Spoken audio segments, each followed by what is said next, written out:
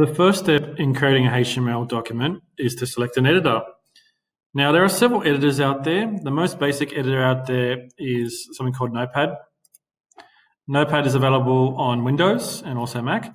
And this is basically a plain text editor which you can create your HTML files in. Advantages are it's easy available. Downside is that it's pretty hard to maintain because all the text is in black and there's no color coding or use of tags. I would suggest downloading one of two editors, either TextEdit, so you can do a search of TextEdit within inside your search engine, or if you've got access to Dreamweaver, um, you should download Dreamweaver. The reason for this is uh, both of them color code the tags and also make it much easier to maintain your HTML code.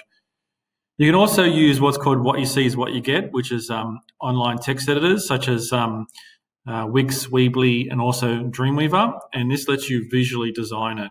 For the purpose of this course, we're not going to be using these um, options. We're going to be creating HTML from scratch using text, and I would suggest very strongly either using Notepad or something like Dreamweaver or text editor. So now would be a good opportunity if you haven't done so already to download Dreamweaver uh, or TextEdit, or you can use Notepad.